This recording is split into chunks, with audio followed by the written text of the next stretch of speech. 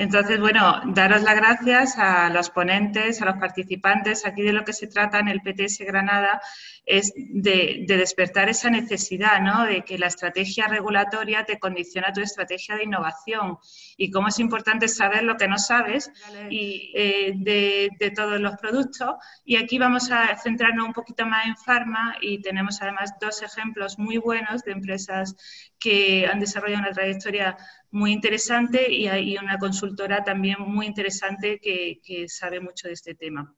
Entonces, de ponentes invitados, pues tenemos, como comentaba, Julia María González, que es directora técnica y de registros en Robi y bueno, además ha sido eh, directora técnica de registros en los últimos siete años y directora de registros en los últimos doce años, o sea que lleva tiempo allí, conoce y cómo, y ahora nos contará cómo comenzó su aventura, mm, con qué gente disponía y cómo ella ha hecho crecer su departamento y conseguir estos registros en muchos países.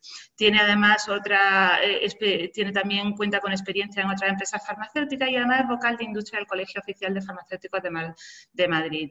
Entonces, ella va a empezar la, sesión con experiencias prácticas en el registro de instalaciones y medicamentos. Así que, si te parece, Julia, nos comentas todo tu periplo, toda tu aventura y también si nos puedes ilustrar, en un poco detalles, criterios que, habéis hecho para elegir una consultora u otra, cómo habéis eh, desarrollado eh, vuestros pipelines, cómo, cuándo habéis empezado a meter o, crear esa sensibilidad en la industria o, en otros departamentos de que el tema regulatorio es crucial. Y bueno, todo lo que nos quieras contar pues nos vendrá estupendamente. Eh, bueno, pues mm, buenas tardes a todos. Eh, muchas gracias al Parque Tecnológico de Granada en la persona de Lourdes por invitarme a estos encuentros regulatorios pues es un honor y un placer compartir algunas de nuestras experiencias regulatorias, tanto en el registro de instalaciones de fabricación y control de medicamentos, como eh, en la preparación y en el registro de los propios, de los propios fármacos. Y ahora con vuestras instrucciones voy a ver si consigo compartir la presentación. Perfecto, Julia, se ve genial. Estupendo, pues de una forma muy sencilla, en los próximos 15 minutos, ¿no, Lourdes? Pues voy a tratar de abordar las vicisitudes regulatorias pues, de un laboratorio farmacéutico para registrar y mantener sus plantas de producción y sus fármacos. Eh, bueno, primero una pincelada de, de quiénes somos. Somos un laboratorio farmacéutico español y eh, Robi es una empresa de origen familiar creada mm, allá por 1946. Tenemos la sede central en Madrid y aunque durante, durante años fue conocida en el mundo farmacéutico por los supositorios Robi, un medicamento laxante, que por cierto todavía seguimos fabricando, eh, lo cierto es que muy pronto comenzó a especializarse en el campo de la anticoagulación concretamente en heparinas. En la actualidad eh, sigue teniendo toda su fabricación en España, si bien ha establecido filiales en diversos países europeos. Eh, la solicitud y aprobación de estas unidades de comercialización pues nos ha obligado a estudiar la legislación local eh, de estos países y este es un pequeño apunte de los aspectos regulatorios de comercialización en cada país europeo que no vamos a desarrollar ahora, a no ser que alguien esté, esté interesado y lo suscite en el coloquio. Eh, bueno, esto me hace recordar que con mis colegas de la Asociación de Farmacéuticos de la Industria, a los que siempre agradeceré la formación y ayuda prestada, muy especialmente en mis comienzos en la industria farmacéutica, solemos darnos cuenta que con el paso de los años, por supuesto, seguimos sin saberlo todo, pero sí que hemos aprendido a quién preguntar. En resumen, Robi está aprendiendo la comercialización en estos países y estoy a vuestra disposición para compartir con vosotros nuestras experiencias quizá en otro momento.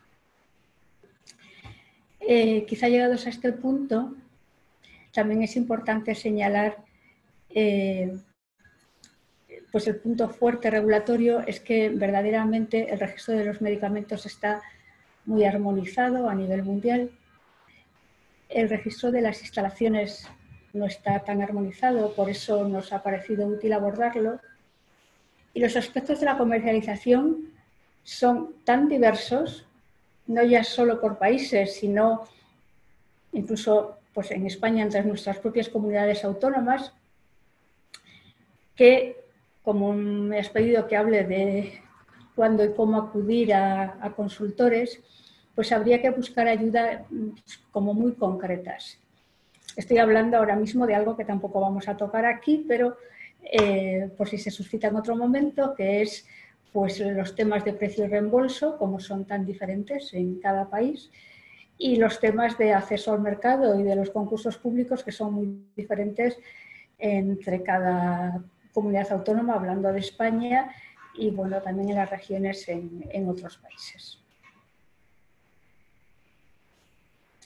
Y vamos a pasar ya a, hablar del registro de instalaciones, de nuestras experiencias, de lo que os podemos contar que os pueda ser útil. Y para ello, pues nos vamos a basar en lo que tenemos. Entonces, os voy a contar nuestras fábricas y, cómo hemos conseguido esas autorizaciones y cómo las mantenemos. En primer lugar, eh, nuestra primera fábrica, eh, que se llama ahora Robi Pharma Industrial Services, eh, está en, Madrid Capital. Eh, aquí fabricamos mm, dos tipos de formas farmacéuticas, jeringuillas precargadas y los supositorios. Mm, de paso, todas las fábricas eh, de todas las compañías fabricamos productos propios y tenemos siempre, es muy importante, tanto desde el punto de vista de la viabilidad económica como de lo que enriquece, pues eh, fabricación a, terceros, o sea, fabricar a otras compañías. Curiosamente, en la industria farmacéutica y muy particularmente nosotros, pues nuestros mejores clientes son siempre la competencia directa. Eh, aquí tenemos instalaciones de llenado aséptico, esterilización terminal por vapor de las jeringas. Eh, bueno, actualmente fabricamos inyectables que ya exportamos a, más de 50 países.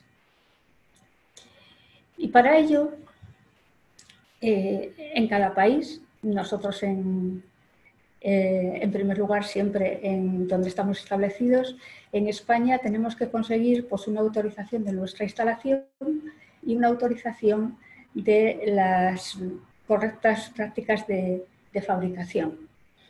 Mm, cada uno de los puntos necesita esa autorización concreta.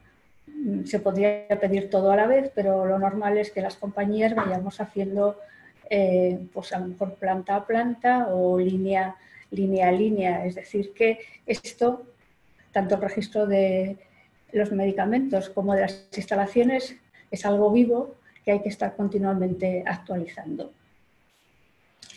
Mm, en la autorización se va reflejando cada uno de estos puntos, es decir, tenemos fabricación de productos estériles, líquidos de pequeño volumen en las jeringas precargadas.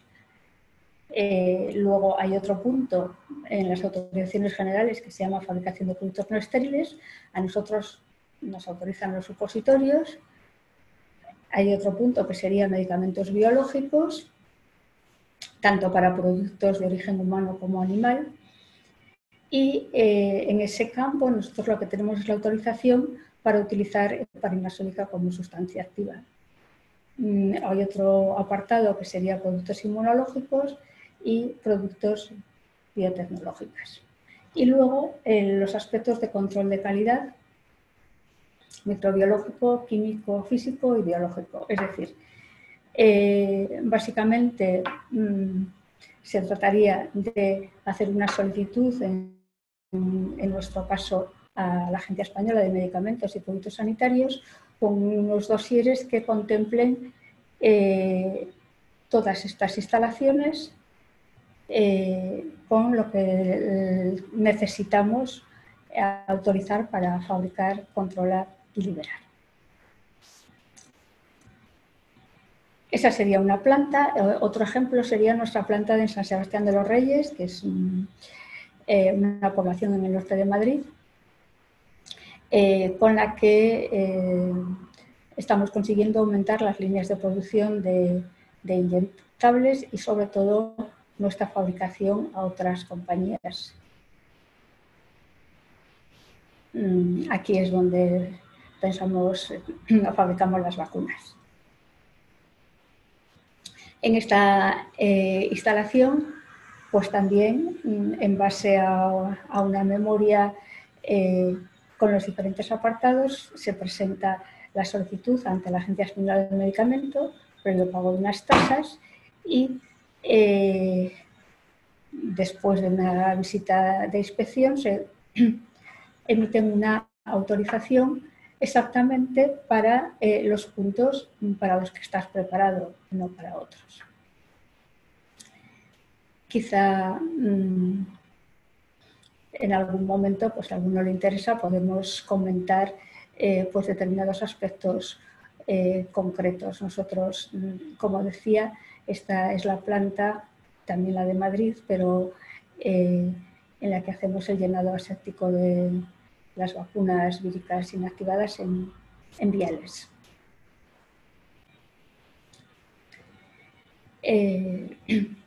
Otro ejemplo sería nuestra fábrica en Alcalá de Henares, es otra población a 20 kilómetros de Madrid, eh, donde hacemos fabricación y acondicionamiento de formas orales. Eh, aquí fabricamos y exportamos ya unos 45 países.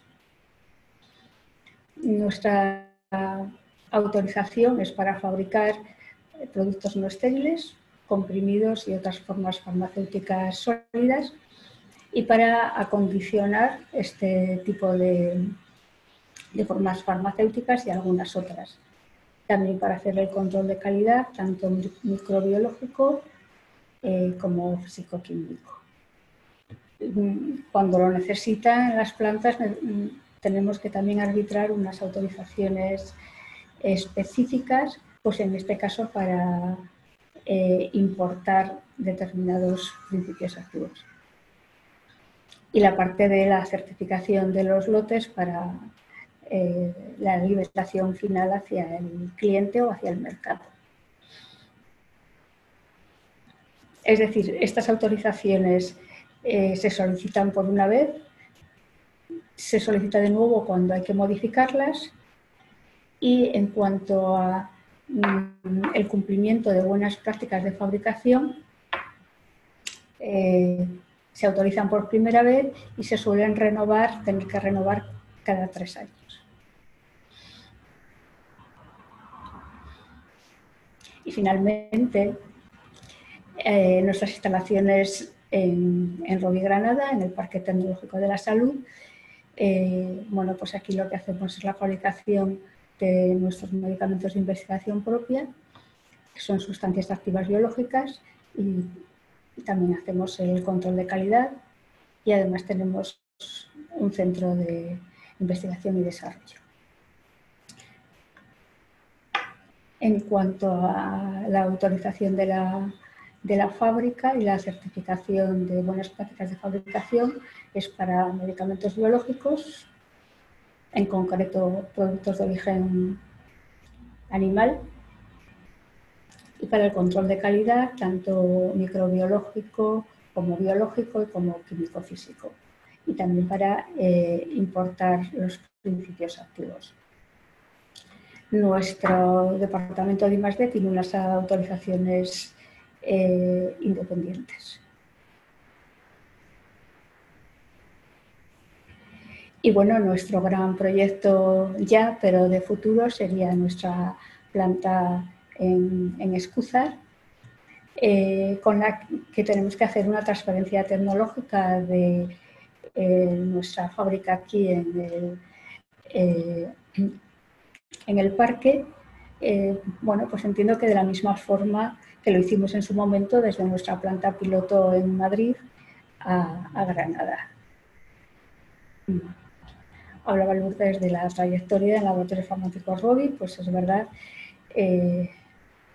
bueno, yo llevo 20 años aquí, cuando llegué pues había una persona en registros, ahora somos 26 y además pues contamos con el apoyo totalmente necesario pues, de todos los técnicos de, de cada planta.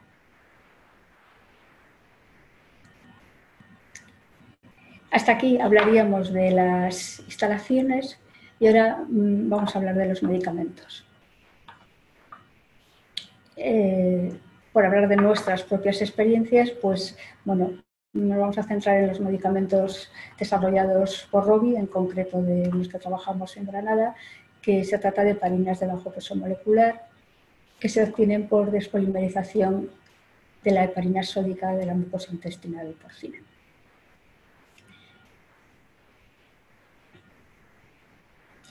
Eh, en un medicamento tenemos que hablar del procedimiento y del dossier. En el procedimiento de registro de los medicamentos, eh, bueno, disculpadme, esto es un nivel muy básico, pero habíamos quedado con Lourdes que íbamos a empezar así, a hacer una panorámica general. Eh, en Europa tenemos mm, varios procedimientos y la compañía puede elegir por cuál optar un procedimiento nacional y luego los procedimientos comunitarios que serían el de reconocimiento mutuo, el descentralizado y el centralizado. Y por otra parte tenemos que construir un dossier. El dossier se llama el documento técnico común y, consta de estas partes. Tiene esta estructura eh, piramidal eh, por módulos el módulo 1 es la información administrativa que es específica de cada uno de los países. Eh, el módulo 2 son mm, resúmenes muy estandarizados, muy establecidos, eh, con plantillas de lo que constituyen los otros tres módulos. El módulo 3 sería el módulo de calidad, en el que se especifica la fabricación y el control, es toda la información química, farmacéutica y biológica en su caso. En el módulo 4 es eh, los estudios en animales, los estudios no clínicos, y en el módulo 5 son los estudios clínicos. Construir este dossier es eh, algo complejo, si bien eh, bueno, mm, todo está escrito. Para eh, construir este dossier mm, seguimos unas guías, unas guías de acceso público que se llama eh, Notice to Applicants, aviso a los solicitantes, em, pero realmente es lo suficientemente complejo para que las empresas contemos con, con, ayuda externa para cada uno de ellos con diferentes eh, consultores. Este dossier vale para cada uno de los procedimientos, es ese documento técnico común que no importa cuál es el procedimiento que vayamos a usar.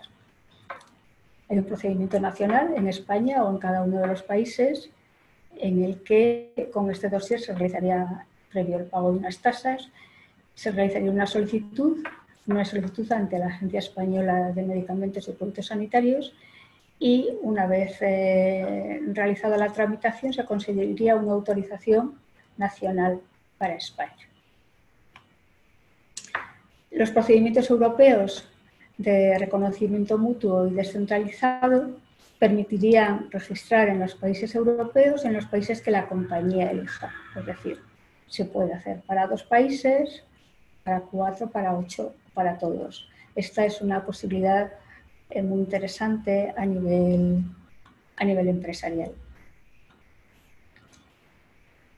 Mm, para compararlos brevemente, bueno, pues el, de reconocimiento mutuo es porque primero hemos hecho una autorización eh, nacional en uno de los países de la Unión Europea, mientras que en el descentralizado se parte de sin ninguna autorización en los, países. Es decir, eh, en el reconocimiento mutuo hay dos fases. Es el registro nacional, que sería como el que hemos visto, y luego la fase de reconocimiento mutuo, mientras que en el otro se empieza directamente la evaluación simultánea en todos los países. Hay un Estado miembro de referencia, que es el que hace la gran evaluación en ambos casos, pero en uno de ellos es una evaluación previa, emite un informe de evaluación, eh, y en el otro es una evaluación simultánea de los otros países. Los calendarios del reconocimiento mutuo son muy rígidos, tiene que acabar en 90 días. Eh, los calendarios descentralizados teóricamente son 120 días, pero son mucho más, más flexibles. De tal forma, quizá el asunto más importante desde el punto de vista empresarial es que realmente en el reconocimiento mutuo mm, no pueden presentarse datos nuevos durante el procedimiento. Eh, tiene que terminar y terminar esos 90 días mientras que en el descentralizado pues, se le da la posibilidad de parar el calendario y eh, presentar nuevos datos y volver a la, discusión. Por ponerlo de una forma un poquito más gráfica, eh, pues lo tenéis aquí. Es una autorización nacional previa en el reconocimiento mutuo. Eh, de tal forma, esto también es importante eh, que una vez que ya tenemos una autorización en un país, no podríamos pedir una autorización en otro país en principio, sino que el propio sistema europeo te llevaría a ese reconocimiento mutuo. Eh, un poco por minimizar el trabajo de las, de las agencias evaluadoras. Mm, las empresas tienen que valorar cuál es el sistema más adecuado. Nosotros tenemos mm, experiencias eh, realmente bueno, pues en, los tres procedimientos, eh, en concreto con España como país de, referencia, pues tenemos una muy buena experiencia en cuanto a pues, la cercanía y la comunicación, en la mm, revisión de los expedientes para evitar objeciones en lo posible en otros países eh, y bueno, mm, su consejo también para, eh, para seguir con el tema adelante. Quizás es bueno decir aquí que hay un sistema en todos los países que se llama el asesoramiento científico, que se suele hacer previamente a la solicitud de un nuevo registro, eh, bueno, pues para de verdad ya estar encaminados y mm, eh, tirarse a la piscina sin, eh, sin conocimiento previo de qué es lo que va a pasar en esa, en esa evaluación. No sé cómo voy de tiempo, Lourdes, no me he perdido. Bueno, si puedes ir, eh, yo creo que lo que cuentas es interesante, pero si en cinco minutitos, una cosa así, puedes ir acabando, cuando, como tú veas también. Vale, muchas gracias. Bueno, pues eh, os decía que esa es nuestra experiencia con la agencia española, también tenemos algunas experiencias con otras agencias europeas. Eh, fundamentalmente hay que estar un poco atentos en cómo van, cómo están desaturadas cada agencia en cada momento, o sea que hay unos años buenos para unas agencias y otros, otros para otro, pero en general eh, la verdad que la relación con las agencias europeas es ágil y, buena a la hora de, eh, de, acercarse a ellos para presentar un nuevo dossier. Luego es muy importante también cómo elegir los Estados miembros concernidos, es decir, eh, pues una multinacional japonesa que quiera aterrizar en Europa, pues le da igual, viene a todos los países y ya está. Pero una compañía pequeña, como nosotros lo somos y sobre todo lo hemos sido, pues tiene que valorar muy bien a cuántos países va y, cómo. ¿no? Entonces hemos aprendido mucho durante estos años eh, en cuanto a ver muy bien los riesgos, por ejemplo, en la validación, los riesgos en la validación, que teóricamente es muy armonizada, pues hay diferentes criterios para la interpretación de la regulación en diferentes países. Y luego, eh, pues hay que valorar también realmente qué posibilidades tenemos de comercialización en ese país, cómo, eh, cómo es interesante ese medicamento y sobre todo eh, cómo está de armonizados en los diferentes países el resumen de las características del producto, o sea, la ficha técnica que decimos en español. Y luego las condiciones de autorización, lo que os hablaba antes de la parte del precio reembolso. También las tasas, las tasas son muy diferentes de Portugal a Francia y eso también es algo a, valorar. Y bueno, mm, algo que a lo que uno se enfrenta y que no le gustaría es el, riesgo de un posible arbitraje y ver en qué momento es oportuno no hacer una retirada del expediente. Pues nada, un pequeño apunte de procedimiento centralizado eh, con el que también tenemos unas pequeñas experiencias. El procedimiento centralizado eh, es una única solicitud, una única evaluación y por tanto una única autorización de comercialización, pero que es válida para todos los países. Eh, hay una serie de medicamentos que requieren necesariamente esta autorización comunitaria es decir, los medicamentos biotecnológicos, los medicamentos de terapia avanzada, los principios activos nuevos para mm, unas enfermedades concretas y también eh, los medicamentos huérfanos para enfermedades raras tienen que ir necesariamente por este procedimiento centralizado.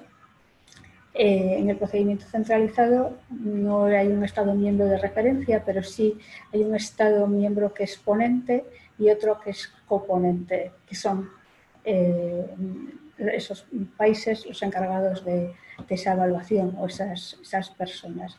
La solicitud se realiza en la, eh, en la Agencia Europea del Medicamento, que sabéis que actualmente tiene su sede en Holanda y hasta hace bien poco en, en el Reino Unido, eh, porque el personal de la eh, de la Agencia Europea realmente son los miembros de cada, de cada país. Esa es la razón por la que el ponente y el coponente son pues, de determinados países y con esta autorización se conseguiría eh, tener eh, la posibilidad de comercializar pues, en todos los países del espacio económico europeo.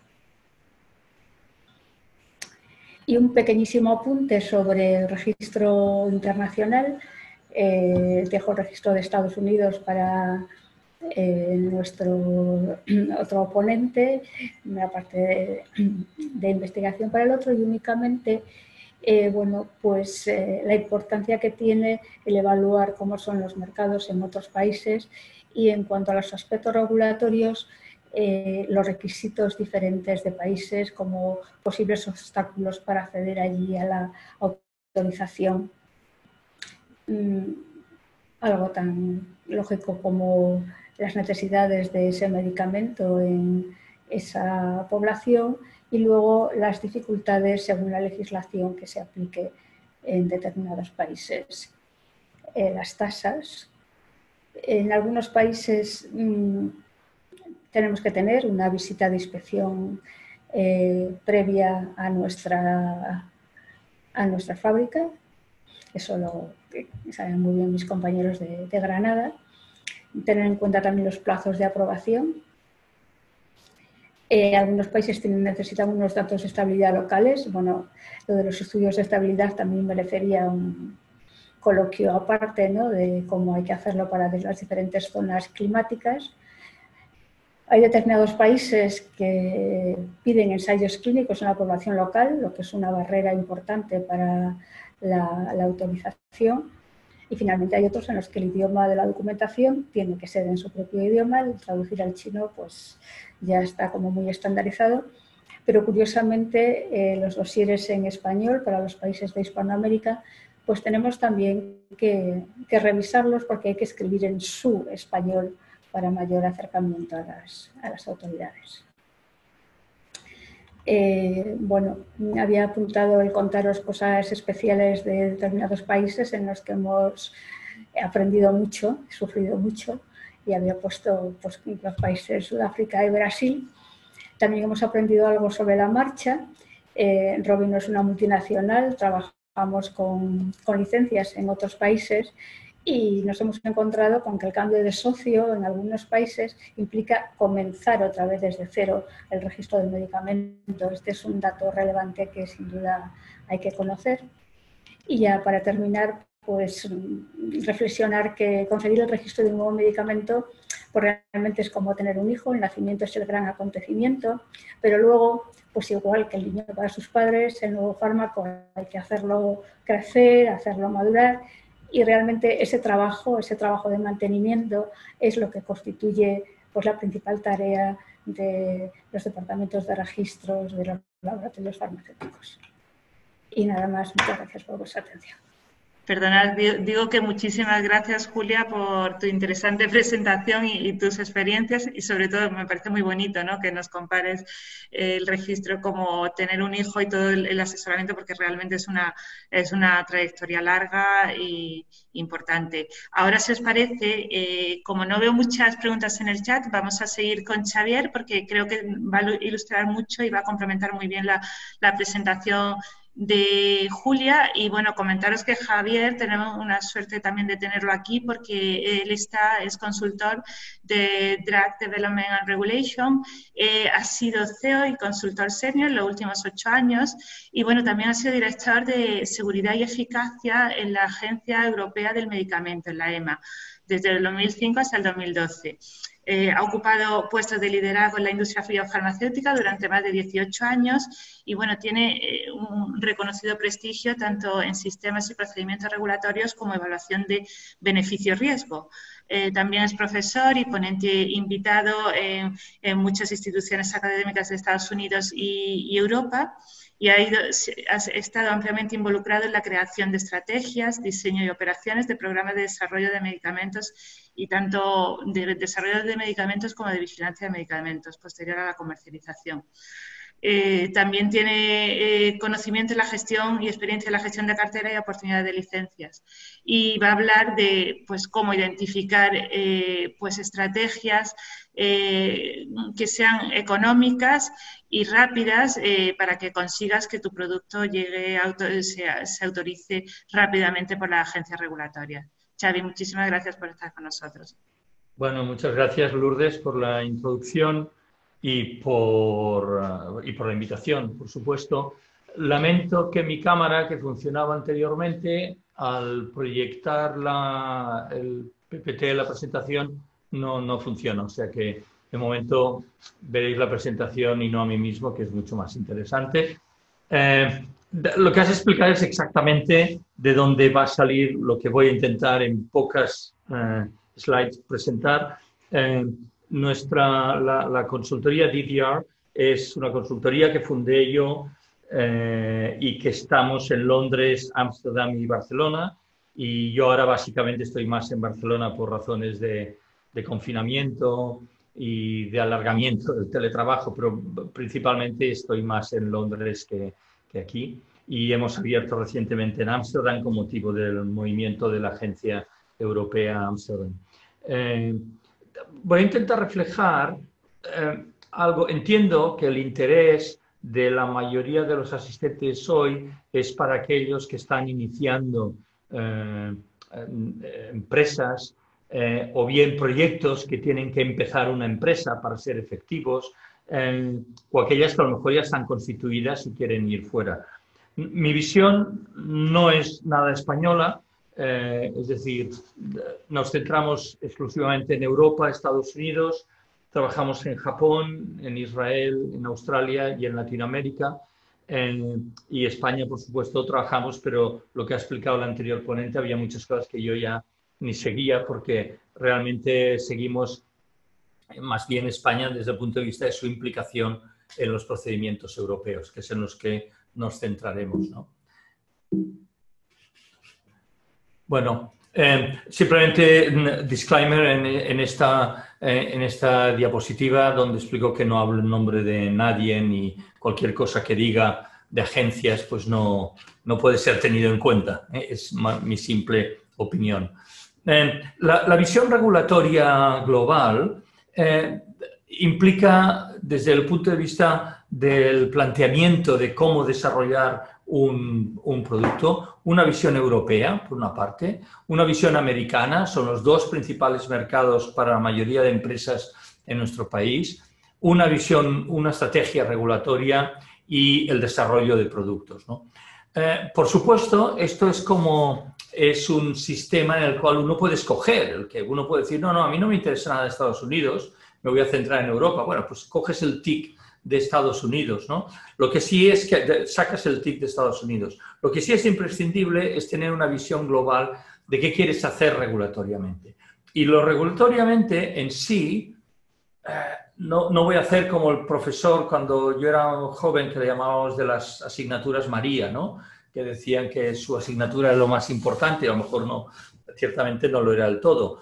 Eh, el sentido regulatorio se adquiere cuando se integra con otros sentidos esenciales para unas empresas que se dedican a desarrollar medicamentos y que tienen que ver, como mínimo, con las visiones de marketing y con las visiones de reembolso, cada vez más importantes, y aunque parezca mentira, no solo en Europa, sino también en Estados Unidos.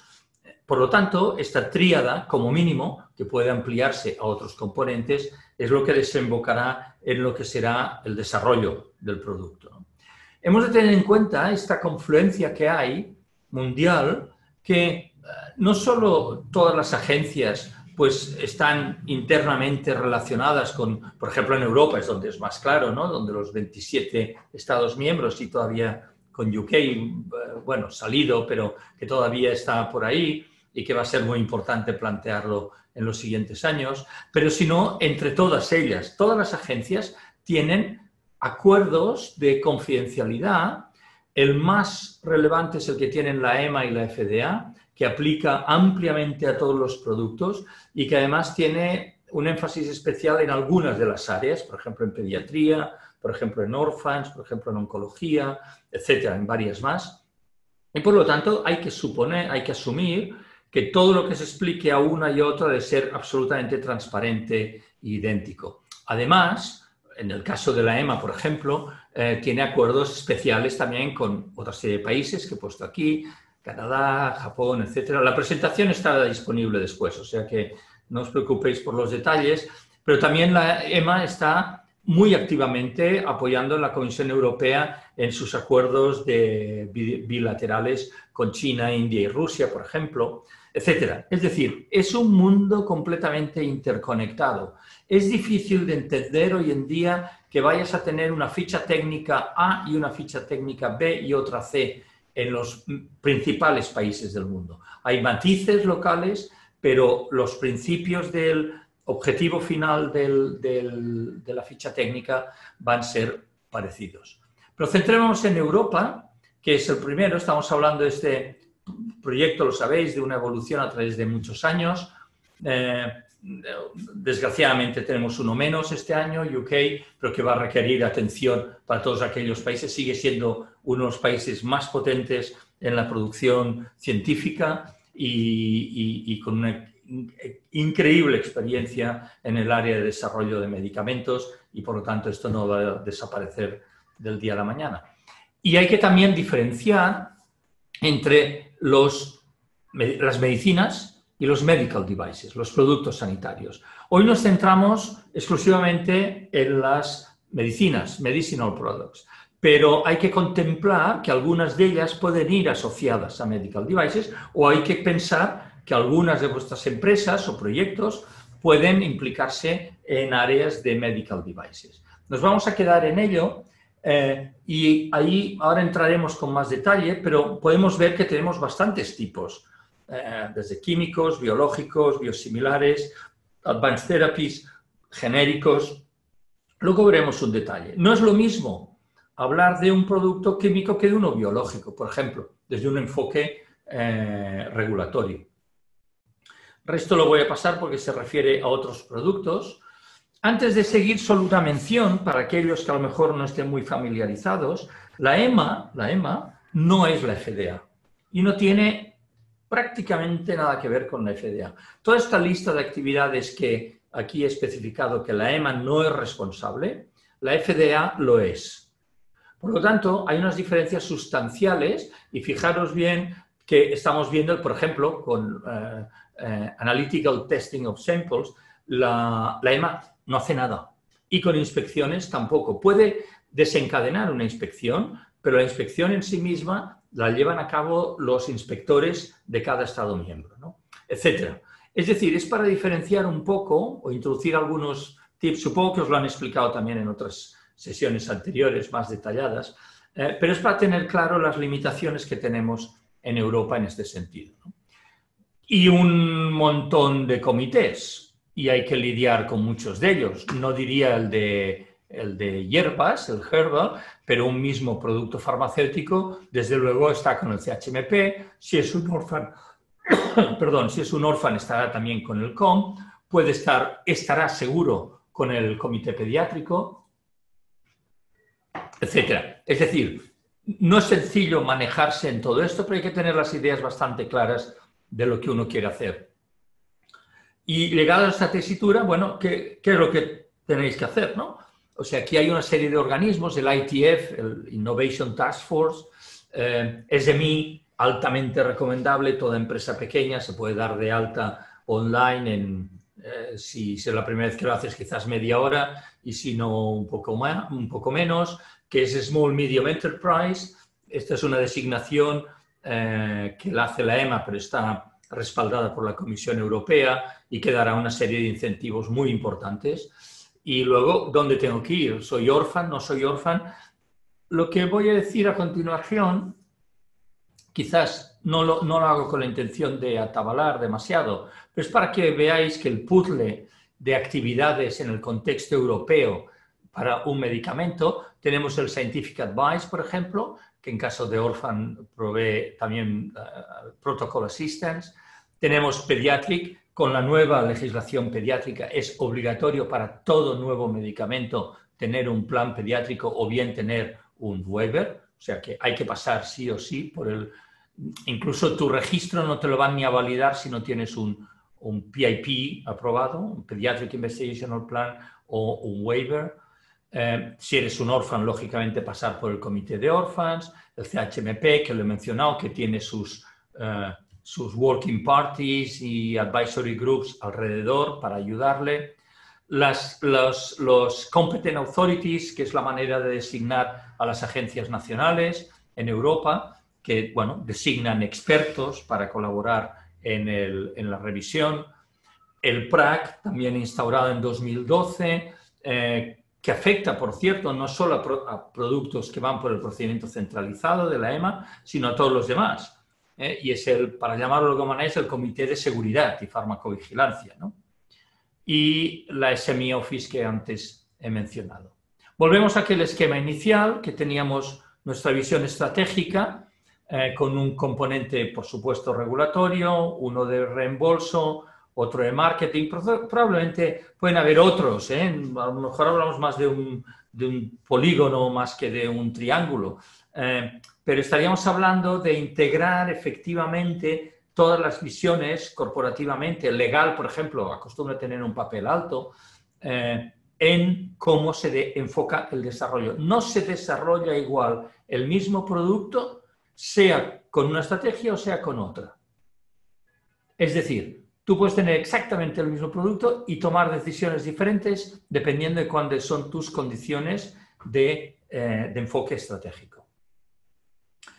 Has de definir el producto. Yo he visto mucha gente que me viene con algo y me dice, bueno, es que no sé muy bien lo que es, no sé la fórmula química, o, pero no sé exactamente de qué estoy tratando.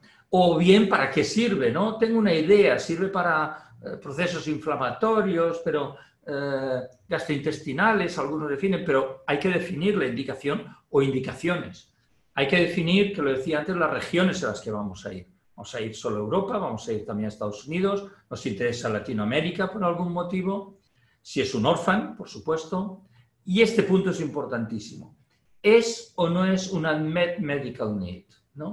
Eh, la gente acostumbra a pensar que el hecho de ser un orfan es la panacea, ¿no? Y le va a hacer suponer un desarrollo corto y una gran aprobación, rápida aprobación y un reembolso excepcional. No, no es así. ¿eh? Es una leyenda urbana. Eh, los desarrollos pueden ser más cortos porque hablamos de enfermedades con prevalencias bajas y por lo tanto las N son más bajas. Pero en muchas de las indicaciones orphans hay una gran competencia para reclutamiento de pacientes o sea que no necesariamente son más bajos. En cambio, la Admet Medical Need es un criterio básico que los reguladores dan mucha importancia para aceptar procedimientos de, eh, rapidez en la, en la tramitación. Pediátrico, por supuesto, y otros. Vamos a centrarnos en la definición de producto, ¿no? ¿Hay un device implicado? Es decir, tú estás fabricando eh, una pastilla, una cápsula, un líquido, o bien necesitas un device, ¿no? Un inhalador, por ejemplo, un stent, cualquier tipo de device, porque, porque el desarrollo va a ir también, eh, eh, digamos, definido por la naturaleza del device, ¿no? ¿Qué tipo de device es? ¿Es un advanced therapy? Advanced Therapy hablamos de células, genes, tejidos. ¿Es alguna de estas tres cosas tu producto? Eh, y hemos tenido más de un caso en el cual nos han dicho, no, esto es un gene therapy. Gene therapy porque, porque hay genes por ahí cerca y alrededor. Gene therapy no es esto, es una terapia que modifica de alguna manera algún gen o más de uno y por lo tanto a través de esto consigue su efecto. Hay muchas eh, compañías trabajando muy activamente, pero hay que definir muy bien si es un advanced therapy o no, si es una medicina, no se puede no serlo. Hay muchas, pueden ser biocidas, por ejemplo, que he visto recientemente. Reprofiling, ¿estás haciendo de un medicamento ya conocido una nueva formulación y o indicación, o solo la formulación, que ya podría ser un reprofiling? Es una nueva indicación, es un genérico no viene al caso hoy porque probablemente nadie os dedicáis a genéricos o OTC, tampoco es muy frecuente, o híbridos también. Estos no vamos a centrarnos demasiado en ellos. Por lo tanto, tenemos preguntas sobre el desarrollo que hay que, en el contexto de una estrategia regulatoria, hay que, digamos, definir bien, ¿no? De qué queremos obtener. Vamos a hacer buenas preguntas y bien justificadas para tener buenas respuestas. Hay gente que se va a tener un scientific advice y vuelve diciendo, a mí no me han dicho gran cosa. A ver, ¿qué preguntas has hecho? Y, hombre, ¿tengo que seguir la guía tal, tal, tal? Pues a una pregunta sí, ¿qué te van a decir? Más que que sí. Es decir, las preguntas tienen que ser preguntas que están cuando hay, por ejemplo, un aspecto que no está cubierto por las guías, que te quieres desviar, tú puedes desviarte de guías, eh, pero tienes que justificarlo, o bien que la guía no es clara o bien que está obsoleta.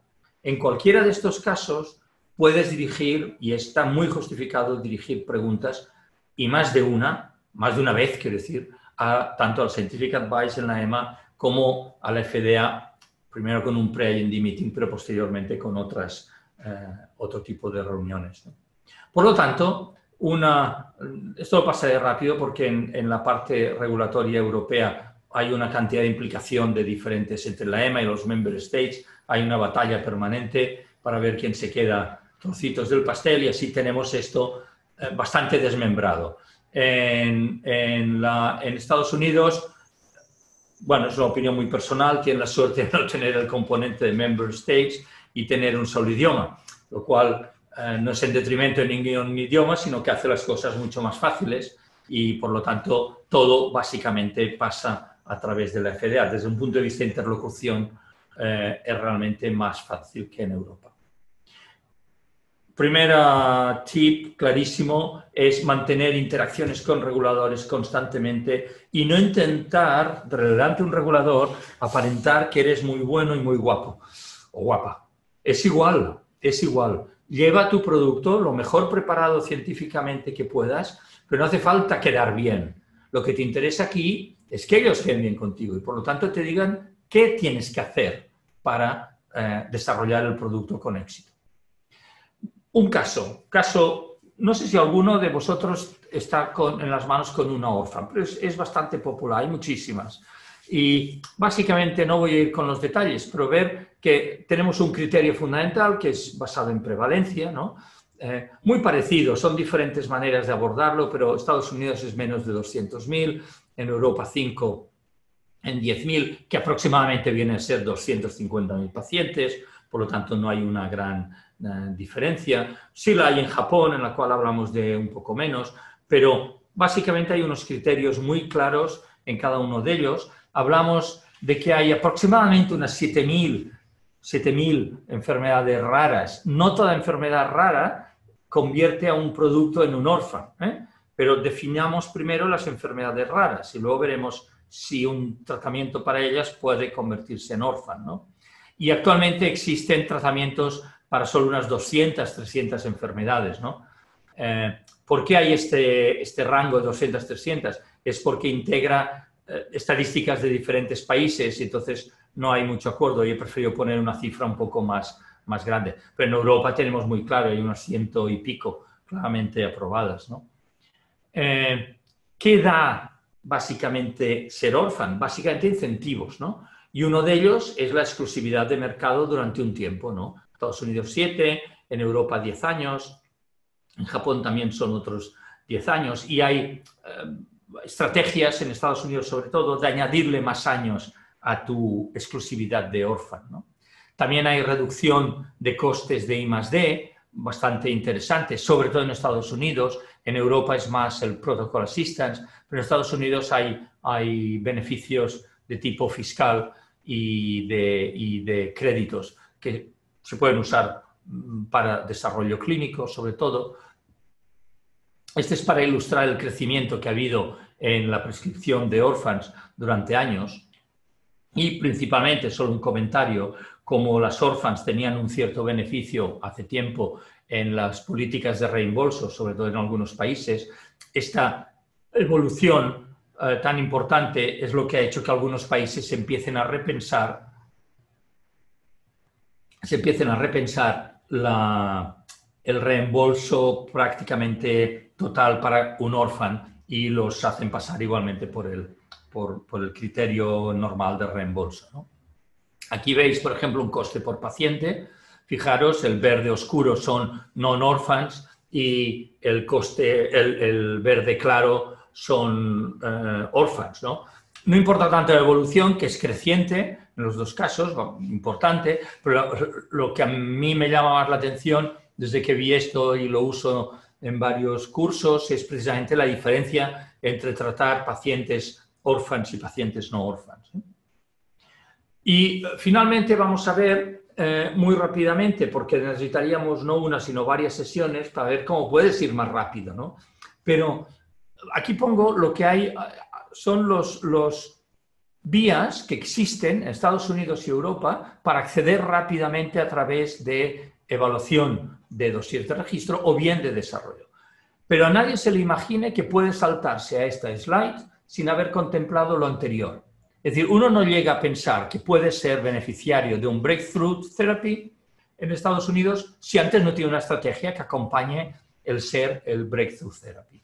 Por lo tanto, estamos teniendo en Estados Unidos una serie de medidas muy interesantes. Nosotros hemos participado en todas ellas, menos la última, que es muy particular, muy, muy concreta, pero tanto el Accelerate Approval, Priority Review, Fast Track and Breakthrough, la que más, eh, y todas ellas están diseñadas para ayudar a según qué productos y según qué indicaciones.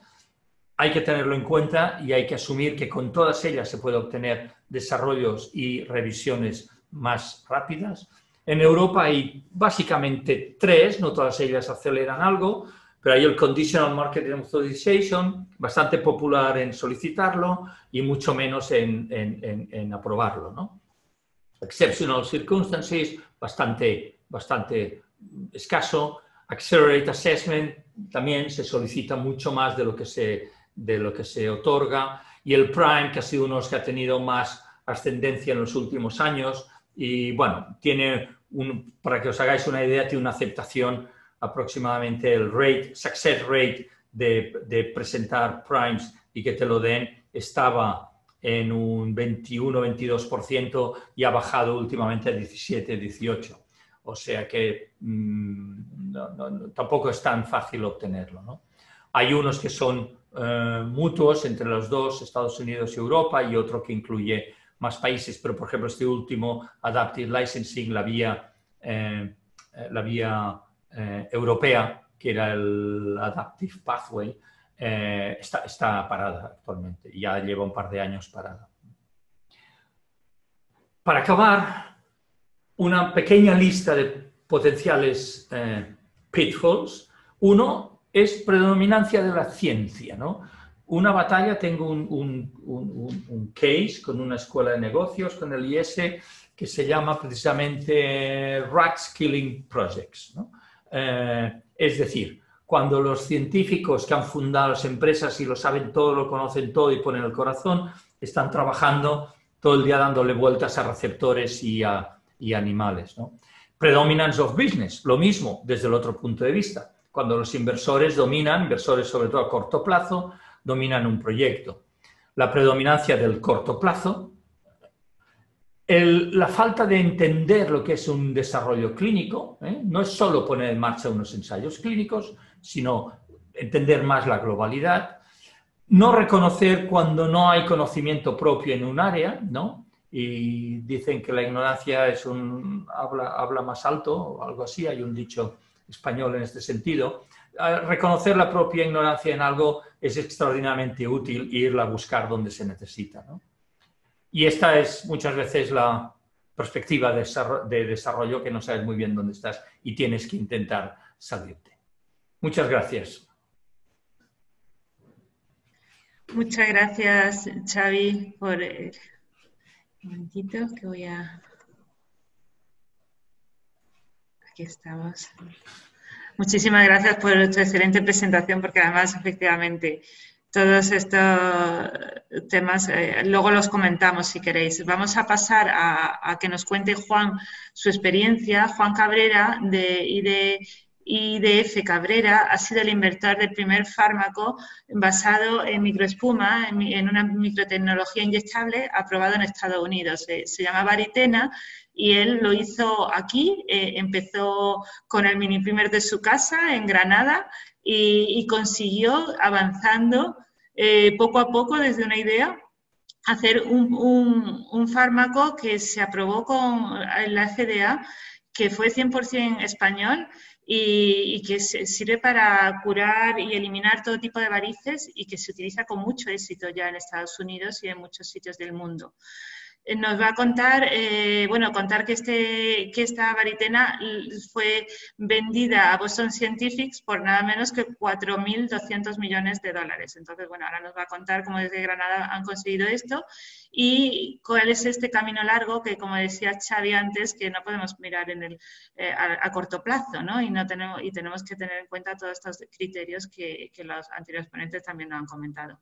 Pues muchísimas gracias, Juan y, nos quedamos contigo desde el otro lado del charco. Venga, Juan. Bien, muchísimas gracias. Voy, voy por allá, a ver si compartimos la pantalla y sale. A ver. ¿Se ve, ¿Se ve la presentación? Sí, perfecto. ¿Sí? Estupendo. Con tu gato. Muchísimas gracias, de verdad, por, por, por la introducción tan, tan precisa y tan, y tan amable de verdad que ha hecho, ¿no? Porque claro, lo que ha contado Lourdes han sido en el fondo 20 años de trabajo y, pasar sin duda de, la Facultad de Farmacia a, la aprobación en la FDA y posterior venta de, la compañía que, desarrolló este producto junto con nosotros. Entonces, pues, pues, bueno, os cuento siempre eh, con muchísima confianza desde la perspectiva del científico, desde la perspectiva del que empieza por el escalón 1 y que tiene que seguir todos, todos, todos los pasos hasta el paso final, ¿no? Y, bueno, eh, digamos desde el embarazo al parto, ¿no? Como, como tan acertadamente decía Julia antes, ¿no? Y, bueno, pues, pues sin, sin más, eh, voy, voy rápidamente al, al tema. Digamos que, como decía antes, empezamos en el punto A, que ve a la izquierda un garabato, que es el garabato original que, hacía yo en la Facultad de Farmacia, intentando escribir la idea que nos rondaba por la mente a mi padre y a mí, ¿no? él como médico cirujano vascular de, gran prestigio y de, magnífico hacer, ¿no? y, que, y, yo como farmacéutico, entonces empezando, que, buscaba el, potenciar las tecnologías que mi padre utilizaba y, y llevarlas a solucionar problemas que en ese momento no tenían eh, arreglo que no fuese la cirugía. De ahí tanto lo que hablamos, Lourdes, siempre que nos recordáis en, el parque, eh, la importancia de la, de la, sinergia en la etapa primera, la etapa creativa. Pues fíjate, en la, Universidad de Granada, que la tenemos ahí al lado, pues en el año 93 estaba yo en una de las bancas en las que tú también te sentabas, Lourdes, pues garabateando, ta, ta, ta, ta, ta, ta, ta, y producía mm, ese papel que perfectamente se podría haber quedado en la, en la cafetería, pero que sin embargo, bien gestionado, puede dar lugar al punto Z, el final de la derecha, ¿no? en la que hace unos pocos meses Boston Scientific compraba esta idea por 4.200 millones de dólares. Entonces, pues, pues bueno, eh, sin duda alguna, si no llega a ser por, mi querida madre, eh, esto se hubiera quedado en, eh, como decíamos antes, en la cafetería, porque ella fue la, que creyó en el proyecto y la que le dio la dimensión empresarial y pública que, necesitaba. ¿no? Los científicos, pues bueno, a veces nos, nos falta ese empujón. Nuevamente, eh, parte de la filosofía del parque el armonizar eh, la tarea de los científicos con la tarea de los desarrolladores empresariales. ¿no? Eh, idea que en el parque eh, tenéis tan, tan a gala y tenéis realmente al día y nos recordáis constantemente, ¿no? porque es una idea sin duda alguna fundamental y una idea ganadora. Bien, yo hago una brevísima introducción por si alguien de aquí eh, em, no tiene tan al día las bases del conjunto regulatorio del ecosistema de hoy día, desde la invención hasta, hasta la comercialización o la aprobación. Y, bueno, luego, luego muy rápidamente para aquellas personas que, sean, eh, pues bueno, eh, em, ¿no? O sea, que estén con su idea de, calma, me meto en esto, no me meto, desarrollo un fármaco, tengo buenas ideas, tenemos cosas en nuestro laboratorio que van, estoy en el CSIC, eh, hay cosas que me interesan, pero ¿qué más hago, no? Bueno, pues va un poco esta visión general eh, para ello. La agencia regulatoria, como decía Ortega y Gasset, empezaron por no existir. Él lo decía de, los impuestos, pero yo lo digo de la agencia regulatoria y es que eh, no nos olvidemos que en Europa, muchos países de Europa son las agencias regulatorias más jóvenes que yo. Tengo mis añitos, pero, pero aún así vienen a ser del 75, ¿no? ¿Y, qué ocurre? Que antes, ¿qué sucedía? Tú te ibas desde el laboratorio a, la clínica bastante rápido. En el CIMA, en, Pamplona, lo vivimos bastante porque tiene el centro de investigación y al otro lado de la calle la clínica universitaria. Está haciendo cosas increíbles en antitumorales, en terapia génica, pasan efectos fantásticos en, los ensayos animales. Y dices, caramba, esto lo estoy deseando probarlo en humanos, ¿no? Solamente tienes que cruzar un semáforo. Pero claro, ojo, eso era antes. Hoy día necesitas prepararte para cruzar el semáforo y ir a la clínica. Necesitas una inversión tremenda de, para empezar a hablar, 10 o 15 millones para la primera fase y, luego, ojo, prepárate porque necesitarás un tiempo muy largo, entre 10, 15 años, en nuestro caso fueron 20 porque era un producto muy nuevo, y, una inversión de 350 millones de dólares para arriba, ¿no?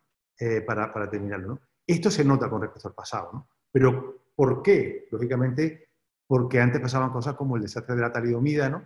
Que, que nos llevó a todos a tener muchísima atención en, qué hacemos en, por, por, la salud pública, ¿no? Pero ojo, ojo que se nota, que estas barreras ya están aquí. Eh, las CRO. Las CRO son las Contract Research Organizations y son eh, eh, una parte fundamental del ecosistema farmacéutico. Antes las CRO eran algo chiquitito que trabajaba para los laboratorios y los grandes laboratorios que tenían sus plantas de fabricación, sus plantas de madera, eran como una inmensa industria, ¿no? Prácticamente te la puedes imaginar echando humo, ¿no?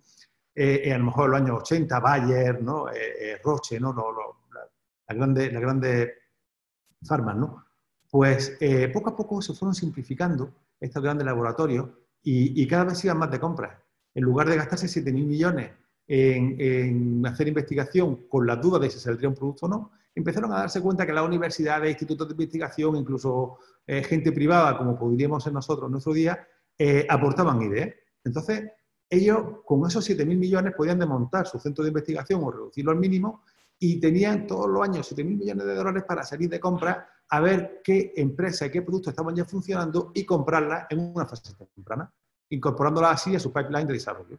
Entonces, así os pongo un poquillo eh, una mini fórmula, ¿no? Que el gran laboratorio hoy día se parece un poco a una firma de abogados que manejan sus expedientes de registro, saben muchísimo de lo suyo, ¿no? Eh, eh, junto con una financiera, tienen una cantidad de dinero tremenda y la administran comprando y colocando en donde más le gusta. Luego, la fabricación la externalizan, como hablaba eh, Julio al principio, dice nuestros mejores clientes son la competencia, ¿no? Pareció una frase fantástica en, en de fabricación de inyectables, etcétera, ¿no?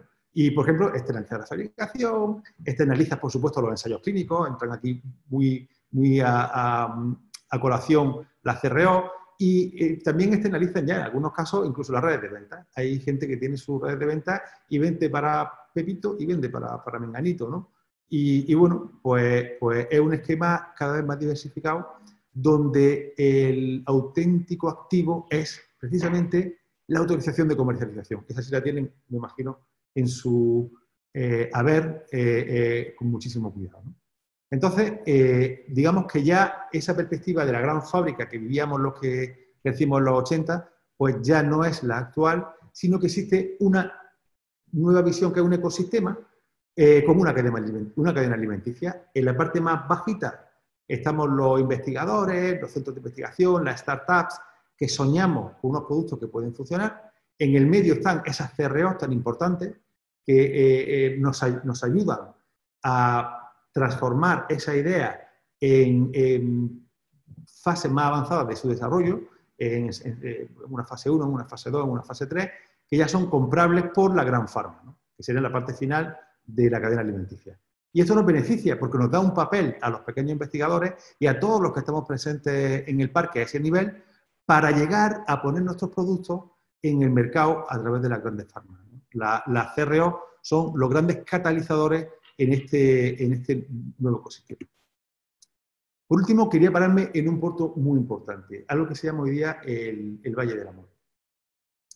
El Valle de la Muerte porque es eh, el nombre que se le da en Estados Unidos, que creo que se le da universalmente, y que, y que a nosotros nos no afecta bien, como investigadores y como Parque Tecnológico de la Salud de la el Valle de la Muerte no es otra cosa que la eh, incongruencia y eh, entre la financiación que hay al principio del desarrollo y la financiación que hay al final del desarrollo. O sea, al principio del desarrollo tenemos, aquí no sé si se ve el curso de la pantalla, tenemos que hay una campana de Gauss al principio donde estamos investigando con animalitos, en el CSI, en las universidades. Tenemos esta, campana de Gauss que nos dice que sí hay financiación. Aquí tenemos que para los proyectos en fase muy temprana, eh, eh, para experimentar con células, para encontrar nuevos receptores, nuevos marcadores, nuevas noticias que salen en los periódicos casi diarios súper interesantes, ¿no? Sí existe financiación para hacer eso a través de los gobiernos, a través de las organizaciones sin, ánimo de lucro, de las asociaciones de pacientes, mil cosas. ¿Qué ocurre? Conforme esas ideas brillantes van teniendo mm, más posibilidad de llegar a la práctica, aparte de ser una noticia, caramba, ahí tienen mucho riesgo y es muy difícil colocar los primeros 10 o 15 o 20 millones para empezar a desarrollar eso. Con lo cual la gente se pone un poco de perfil. Y dice, que ya no, no quiero, ¿no? Y es donde los investigadores no estrellamos nos estrellamos porque, ¿qué ocurre? No encontramos a alguien que venga a llamarnos a la puerta, oye, mira, que me interesa lo tuyo. ¿Y qué ocurre? Nos quedamos con la noticia del periódico, nos quedamos con, la, con el premio que te puedan dar, la palmadita en la espalda de tus queridos colegas también investigadores, y lo guardamos en un cajón. Eh, cuando existe una persona con espíritu empresarial, te ayuda a superar ese valle de la muerte tendiendo un puente. ¿Por qué? Porque después, cuando ese producto ya es un fase de 3, etcétera, ya existe la atracción gravitatoria de todo el capital de la gran farma, capital que ya proviene de la venta real en los mercados. Entonces, la farma a productos que ya funcionan les prestan mucha atención y pagan millonadas, 500 millones, etcétera, como el caso de Vivex, para la enfermedad de Wilson, etcétera. Entonces, en ese, en ese valle de la muerte hay que tender un puente y saber que es donde tenemos que empujar duro. No tenemos que echarnos atrás los investigadores, sino empujar duro para llevar nuestro producto a través de las primeras fases, de la preclínica, de la fase 1 y sobre todo de la fase 2. Ojo con esto. ¿Qué ocurre? Que efectivamente, eh, lo que decíamos, ¿no? en esta, como conclusión final de, esta introducción, nadie quiere correr los riesgos cuando los productos están ya casi listos para el mercado. Eh, hay intereses, además, que fomentan la, duración prácticamente eh, interminable de los procesos de, de aprobación, por ejemplo, las propias CRO, cuando te aprueban, pues prácticamente te pierden como cliente. Si podemos hacer durar eso 15 años en vez de 10, pues 5 años más que tengo trabajo. Lo mismo le pasa al director de una empresa, ¿no? ¿Qué hace? Abre el melón y se, ya se decanta y, dice si, si, bueno, veamos esto realmente funciona o no funciona, ¿no? Pues eh, si funciona, fantástico, pero si no funciona, pierde su trabajo. Entonces, muchas veces la gente remolonea jugando con las expectativas, porque muchas veces se venden las expectativas en esta industria más que los resultados finales, porque los resultados finales te pueden llevar o al éxito rotundo, pero también a la catástrofe profunda. Entonces, ojo que nos corresponde a nosotros, como la sociedad civil, el ejercer ese contrapeso. ¿Por qué? Porque eso al final no beneficia al paciente. Esos tiempos tan largos, si es que están artificialmente alargados, como en algunos casos he visto. ¿no? Entonces, del pobre paciente nadie se acuerda de él. Esto creo que no se ve el vídeo, pero igual se escucha el nadie se preocupa por mí. Como la escena de la película, ¿no? Nadie, nadie me quiere, nadie se preocupa por mí. Bueno, entonces, eh, eh, broma aparte, y a ver si, si paso a la siguiente. Mira, si alguien se va a meter a desarrollar un producto farmacéutico desde el inicio, eh, como han dicho todos nuestros ponentes anteriores, es un proceso largo y muy costoso. De verdad, hay muchas otras cosas que hacer. Hay muchas otras cosas que hacer. Esto de verdad es como tener hijos y familia. Si de verdad no lo ves claro, haz otra cosa. Haz otra cosa. Vete, vete por ejemplo, eh, al tema, no sé, tecnológico, eh, eh, vete por la ruta del medical device. No lo sé, porque esto es largo y doloroso. Ahora bien, tiene su recompensa. bueno, aquí yo iba a poner un poco una broma, ¿no? De, que hacer un, un nuevo fármaco, pues, como construirse tu propio edificio de 40 plantas, sobre todo si lo haces como nosotros, empezando Vamos a sellar de las juntas y ya lo tenemos. Bueno, jefes, ya tenemos construido nuestro rascacielos de 35 pisos. Recordemos los pasos que hemos seguido. Uno, hemos estudiado la carrera de arquitectura durante seis años. Dos, hemos reunido 700 millones de euros y con ellos hemos comprado una parcela edificable. Tres, hemos proyectado el rascacielos y cuatro, lo hemos construido. Bueno, jefes, ya habéis visto lo fácil que es construir nuestro propio rascacielos de 35 pisos. Y no tiene unos porque no quiere, joder. Venga, amigos, hasta la próxima. Agur. Bueno, un poco, un poco de humor, porque así era como me sentía yo cuando, cuando tenía que, lanzarme a, probar ese, ese, papelito, probar que la idea que había en ese papelito, eh, junto con mi padre, eh, realmente era un producto digno de estar en el mercado mundial y de ser aprobado, por ejemplo, por la FDA. Y también era un producto digno de que invirtiesen 300 o 400 millones de dólares en él. Pero claro, eh, eh, a veces los pasos son difíciles. Eh, bueno, mi experiencia, y voy concretando muy, muy brevemente. Mi experiencia es la siguiente. Por favor, si vais a embarcaros en desarrollar vuestro propio producto, uno, tened un buen producto, de verdad, de corazón tened un buen producto. No busquéis un producto mediocre, eh, no os conforméis en plan, oye, esto ya parece que funciona. No, encontrad, por favor, resultados rotundos y ves que la diferencia que hace para el paciente es algo rotundo. Si, si no estáis del todo convencidos, no, funciona, pero funciona en determinados casos, pero ya es suficiente por lo menos para dar un pasito. No, no, no, no, no. Vuelve al laboratorio, trabaja duro, refínalo, dale un par de años más y vuelve con un producto serio. También porque te, resultará mucho más fácil el, camino. Dos, prepara el dinero. Eh, para empezar, hace falta 10 o 14 millones para la preclínica y la fase 1. Eso, por ejemplo, lo que estamos viviendo nosotros ahora en la cooperación que tenemos con, el Centro de Medicina Aplicada de, eh, Pamplona, con el CIMA. Estamos desarrollando un nuevo antitumoral basado en la terapia génica y, bueno, pues, pues realmente eh, lo que vamos a necesitar para la, primera fase es esa cantidad. Entonces, eh, el producto gracias a es buenísimo, pero, pero hay que prepararse económicamente. Si le queda sin fondos, no va a llegar. Y prepararse que también eh, eh, costará mucho dinero porque para llegar al final, pues como media son 350, 400 millones, a nosotros nos costó más, decimos Baritena, y, y, bueno, tienes que tener buen acceso a los mercados financieros a través de tus socios. Tienes que poder hablar con Credit Suisse, tienes que poder hacer emisiones con eh, bancos estadounidenses, eh, eh, salir a bolsa, etc. Todo esto es necesario contar con socios que tengan esa capacidad.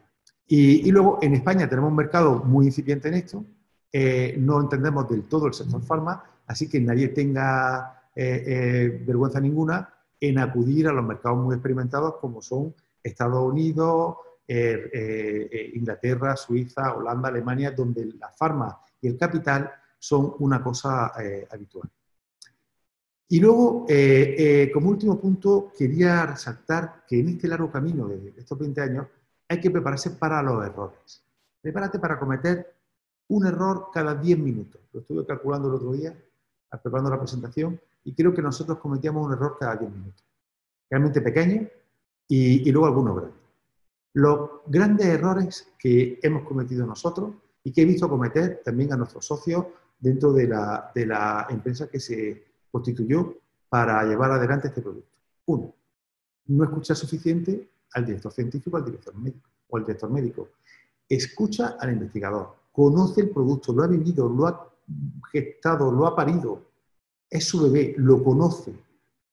No pienses que lo va a hacer con una inyección, tal, no, lo vamos a simplificar. No, escúchalo. Si antes de ir a los ensayos clínicos el director médico, el director científico manifiesta sus dudas, apúntala en rojo. Cuidado. Luego, no seamos demasiado ingenuos. Eh, eh, no pensemos que porque el producto hace mucho bien, la competencia lo va a tratar con indulgencia. No. Si los médicos ven que ese producto les va a bajar su facturación mensual o que, por ejemplo, como nos pasaba nosotros con los cirujanos, lo saca de lugar, ellos van a atacar. Incluso si tú le ofreces los ensayos clínicos a ellos, pues ¿qué van a hacer? Hacer los ensayos clínicos de una manera, pues, pues mediocre, Entonces, eh, planifica bien los ensayos clínicos, ten en cuenta esos conflictos de intereses y, gestiona tu estrategia adecuadamente. Eso, con una buena CRO, lo puede, lo puede evitar.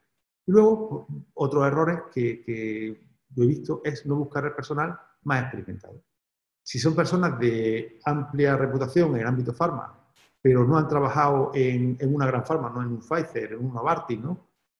Ojo, si tienes un proyecto grande y quieres llegar a la FDA, tienes que contar con personas de ese calibre. Habla con tu socio y prepara también el capital para reclutar a esas mejores personas. Dicen siempre en Boston, tú lo sabes perfectamente, Lourdes, que eh, las 25 primeras personas de una empresa definen el futuro de esa empresa. Así que bueno, hay que trabajar eh, eh, con lo mejor. Nosotros vivimos los dos mundos, estando flojitos y luego entrando con personas muy experimentadas y vivimos la grande. ¿Qué aciertos hemos tenido en, esto, en estos años? Nuestros principales aciertos han sido, por ejemplo, luchar cuando en Estados Unidos la patente eh, bueno, se ponía en entredicho, no se entendía bien, era una tecnología muy nueva, inyectabas cosas mm, mm, en, el cuerpo que era microtecnología, pero estábamos en el año 1993, donde todo lo que se esperaba era una molécula, ¿no? Entonces, en Estados Unidos eh, no se sabía bien, ¿no? Y, y, nos pedían más información y más información sobre la patente y supimos defenderla bien porque creíamos el producto. Luego hay que prepararse para superar los fracasos. Nosotros tuvimos grandes impedimentos en la preclínica, eh, porque lógicamente, como era microtecnología, no era simplemente moléculas nuevas, hoy día eso está ya mucho más eh, em, estudiado, pero, pero esa, esa microtecnología, por ejemplo, los modelos animales no, no eran válidos. Entonces, si con la FDA tú organizas una preclínica con unos modelos animales que están pensados para, para moléculas, pero tú lo que estás inyectando es micropartículas o microburbujas, eh, llega, llega un momento en el que esos modelos no son, no son eh, significativos. Entonces, tienes que hablar para cambiar el modelo. Y también, eh, lógicamente, en la clínica tienes que prepararte para que la novedad impacte al desarrollo. Y bien, por último, por último nuestro acierto fue, yo diría, no perder, y lo recomiendo a todos, no perder nunca de vista al paciente. El paciente es el fin último de este esfuerzo. El paciente es el que, el que merece y el que motiva el desarrollo de estos nuevos medicamentos. No te satisfará el dinero, no te satisfará la fama, el logro. Eso llegará un momento que la presión será tanta que dirá, mira, paso de dinero, paso de fama, paso de, paso. Pero cuando piensa en el ser humano, en su sufrimiento, en ese momento sí que de algún lado surgen esas fuerzas, gracias a Dios, y te levantan y te llevan hacia adelante y, digamos que de alguna manera eh, hace de su sufrimiento el tuyo, de, tu sufrimiento el suyo. Y, entonces, pues, pues más allá de lo que uno pensaría que hubiera podido llegar. Por último, un mensaje a aquellos que están haciendo startups. Recuerda que tu producto es la empresa. Cuando cojas tu socio, No te quedes con los royalties. No, me voy a quedar con un porcentaje de las ventas. Nunca vas a ver las ventas de tu producto en el ecosistema actual. La empresa que estás formando, esa es tu producto, porque tu paso en el 99% de los casos será venderla a una gran farma que realmente catapulte tu innovación al mercado, como fue nuestro, nuestro caso. Que tiene Boston Scientific fue la grande que nos acabó comprando. Si nosotros no nos llegamos a quedar con acciones con participaciones de esa empresa inicial que fue BTG, pues cuando, cuando Boston Scientific la compra, pues nosotros no nos hubiéramos quedado con nada. Y si nos hubiéramos quedado con royalty sobre la patente, la patente en un desarrollo de 20 años, antes de que quieras acordar, a expirar. Por tanto, mantén presencia en el capital. Y muy bien, si a pesar de todas estas dificultades vas a hacer este paso, vaya a desarrollar del laboratorio hasta la clínica un nuevo fármaco, cambiaréis el mundo. Sinceramente lo creo.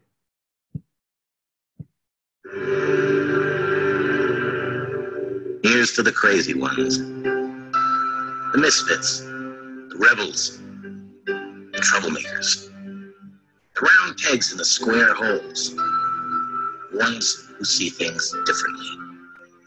They're not fond of rules, and they have no respect for the status quo. You can quote them, disagree with them, glorify or vilify them. Now, the only thing you can't do is ignore them because they change things. They push the human race forward. And while some may see them as the crazy ones, we see genius. The people who are crazy enough to think they can change the world, ones who do.